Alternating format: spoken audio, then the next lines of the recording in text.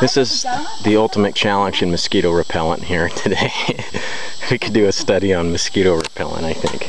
I think I'm gonna go get intoxicated for life. I'm gonna die from mosquito. repellent.